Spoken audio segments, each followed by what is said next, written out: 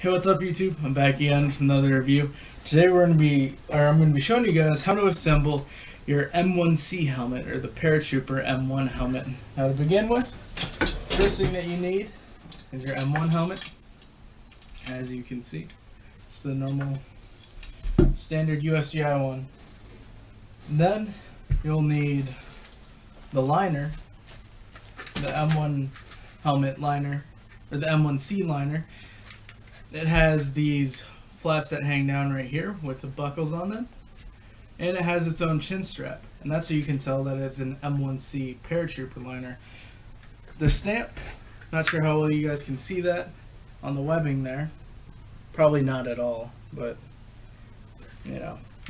Anyways, it says liner parachutist helmet, and then it has a national stock number, and it has a DLA number of 1983, meaning that this is going this is going to be one of those weird ones that doesn't quite fit right in that M1 helmet. Then you got your cat's eye band. You got your sweatband. Now this is an unissued one. It says band uh, or headband adjustable SPO 1994. So this one would originally be designed for a Kevlar helmet, but we're going to be putting it inside an M1 helmet. And then you got your ERDL helmet cover. Could be any M1 helmet cover really, well depending on the era. Then these unissued ones do not include a nape strap, so you will need that. And something not seen uh, a whole lot is the um, helmet pad. that would just sit in the back here, sit in the back of the liner. So, oh, and the most important thing is its own chin straps. Now you can tell that this one is a parachutist one because it has this snap right here. And the other one I've already pre-attached, so you need to loop it like so. So that's actually going to be the first thing that I'll do. Let me just get this stuff out of the way for you here. And to help me do this, I got one of those old Leathermans. You're going to need something like that.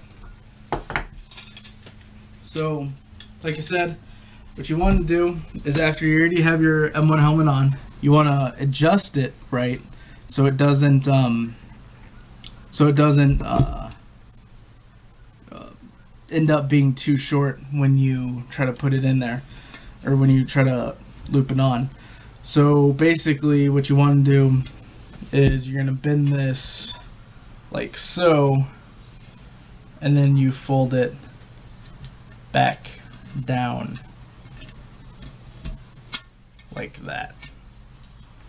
And then what I'll do from here, they'll use the, the Leatherman to, uh, to cinch all this down real nice and tight.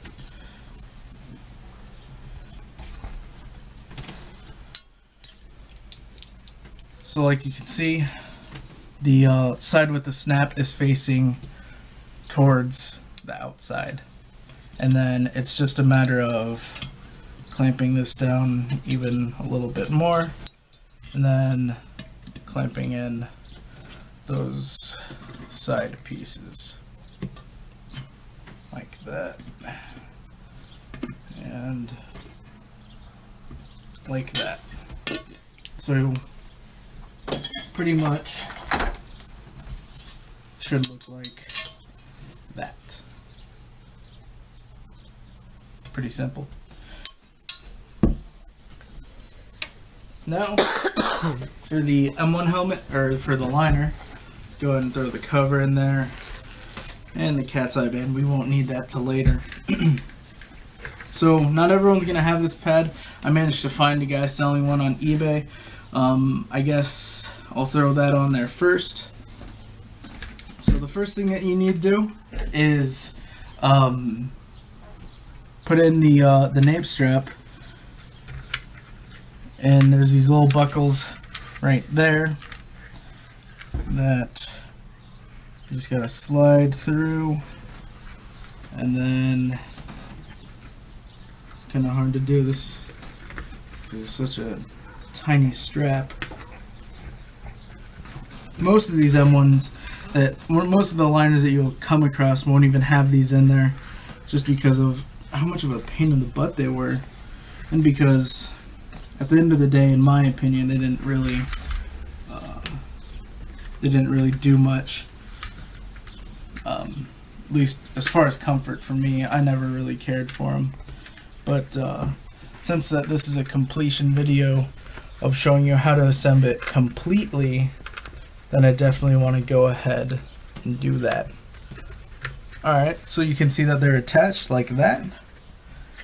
Now the next thing is going to be real tricky. So you got your, your helmet pad, and you just slide it through like so. And depending on how high or how low you adjusted this will determine on how high or low then it hangs out from the, the back of the M1 helmet. So the rest of this you guys probably aren't going to be able to see too good at all just because the helmet pad is in the way. But you gotta really make sure that it's nice up and close to the um, that the pad is nice up and close to the to the liner it just it'll fit better with the um, sweatband after you put that in there because I mean sure these these helmet pads aren't too common but you you definitely have your uh, sweatband in there and then it just sort of sits there like so. Now, like I said, um, you can tighten the strap down. That actually, you know what? I'll just go ahead and try and do that. This is, like I said, guys. If you guys ever fiddle around with one of these things, then you'll know what a pain in the ass it really is. But I definitely want to make this video full and good, so I'll just do my best on it. And I'll tighten this one too. Why not? Let's just tighten them all. So, we got that installed. Now it's time for the sweatband. Let's go ahead and tear that open. Unissued since 94. And then these 90s dated ones um, are just like the normal M1s. Um, so it just has like that normal buckle that's kind of hard to undo. And then, except it also has the Velcro. And then instead of cotton, it's nylon. And then you can see it's sized small, medium, large. Not too sure if they ever had an extra large though.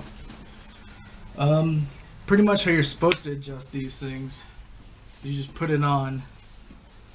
And then, let's see here.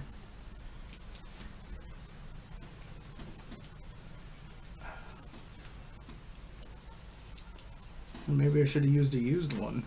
Would have Been a little bit better. So I think that's about good enough.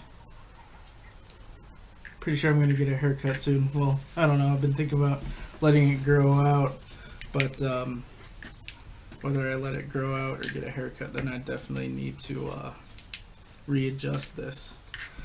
So when you put these things in there, it's not going to go like this. You want to, it to go up like so. So let's go ahead and throw them on there.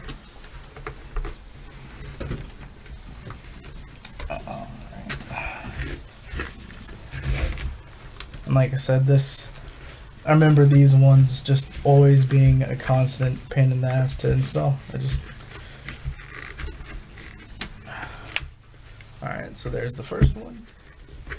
First one down, five more to go.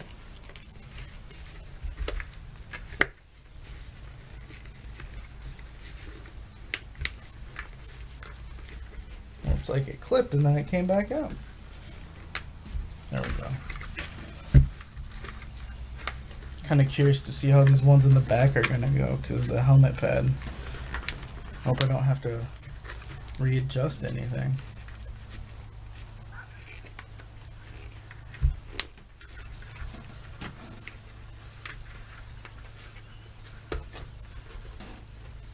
These um, sweatbands, the one that I'm using now, they really weren't around for a whole lot. I mean, they continue to get used, but once the once the the ones with the Velcro replaced these ones, um, it was just game over for these ones.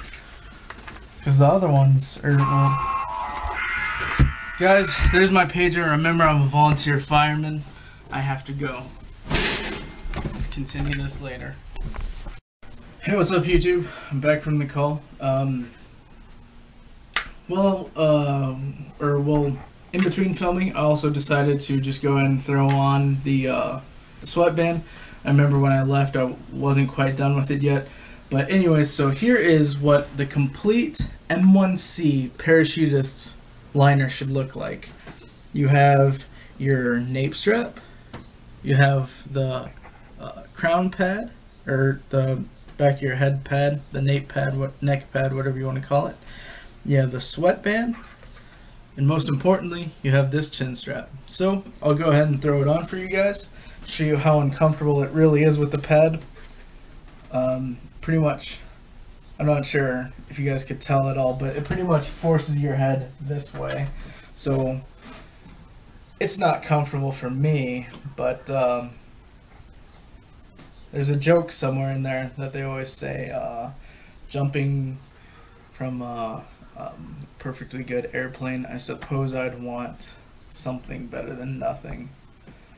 Oh, so actually with the pad, it looks like this is a little bit too small and have to readjust it maybe. Alright. I think it's... There we go. So here's what it looks like with the chin strap, uh, or while you're wearing the chin strap. And this chin strap pretty much just helps keep um, your uh, your liner separating from your M1 while you're you're jumping. And then of course you got the little pad sticking out the bottom there. So that that's what a complete M1C liner should look like if you're doing um, post Vietnam. I, I want to say that these came out around the uh, late 70s. And then for the M1 or the shell itself, already got the chin straps installed, so that's great. And then let's go ahead and throw on the ERDL cover. I picked this cover up at the last gun show um, from a, a, guy who I buy from every once in a while. Um, it seems like it's kind of shoddy with him, where sometimes he'll have really great stuff and then sometimes not. Eh. This time, he was selling these uh, a whole bunch of these ERDL RDF. I don't remember seeing any woodland helmet covers for a dollar each, so I picked up a bunch and this is probably one of my favorite ones. I don't know, I just, I think it's conditioned or weathered perfect. I won't make it too fancy, but enough to where you guys will get the point. Now, as I mentioned earlier, this is the early 80s M1C liner, so they actually, uh, specialty uh, plastics products company actually made these a little bit larger. Um, I'm not sure why. I think, honestly, because uh, these did see service along with the PASGT helmet or the Personal Armor System ground troops. I think the company just thought, well, since these are about to be replaced anyways, what's the point? But um, anyone's dated before the 80s fit perfect inside M1s. This one will not. It will hang out and it's going to look goofy, but that's just how they wore them. So installing it is pretty simple. You just slide it in. And then you got your snaps here and your snaps here. And snap it there. And then snap this one like so. And that also helps keep the um, the shell separating from the liner by those putting those snaps in there. So then you have two chin straps. And this is what your complete M1C liner or M1C helmet will look like. So like I said, it's sticking out very, very bad. And that's, guys, that's just, they just made them that big. I don't know why. Um, it kind of sucks, but I mean, eh. Um, a guy told me on a Facebook group that he used a rubber mallet to knock it in there, but uh, he also said that um, you're probably never going to get it out uh, after you do that, just because of how stuffed it is. I'll go ahead and throw it on for you guys to show you what the whole get up looks like. It's definitely not as comfortable as my PASGT parachutist helmet configuration, which I honestly don't know if I've ever shown you guys that before. So I guess uh, I guess I know what to make for next video too. And then it looks like I'm gonna have to readjust this chin strap pretty good. But anyways, you get the point. So like I said, yeah, I'm gonna have to definitely make this uh, side longer. But then for this uh, chin strap on the shell, you would just clip it like you normally would, and then you'd also have this chin strap too. But, so that's what the M1C helmet, this is how to put it together, and this is what it should look like. I hope you guys enjoyed this video. Um, I hope you guys learned something new about this. If you guys have any questions, go ahead and let me know, and have a nice day.